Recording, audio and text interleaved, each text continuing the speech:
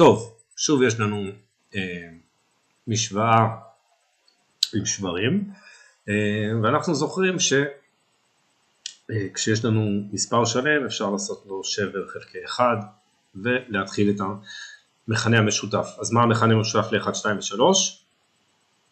נכון, 6. אז 2 כפול מה שווה 6? 3. 1 כפול מה שווה 6? 6. 3 כפול מה שווה 6? 2. נתחיל.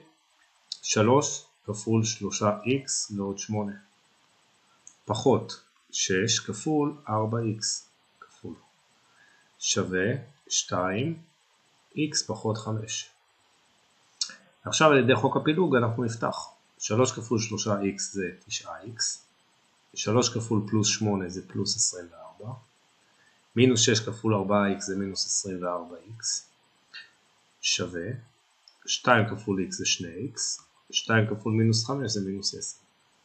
שוב, ניקח את הדומים, 9x פחות 24x זה מינוס 15x ועוד 24 שווה 2x מינוס 10. נוריד 2x משני אגפים, יהיה לי מינוס 15x מינוס 2x פלוס 24 שווה מינוס 10.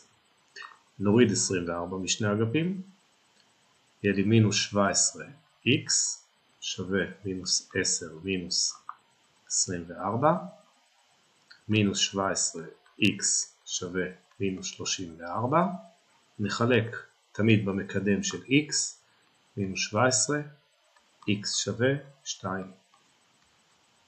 זהו.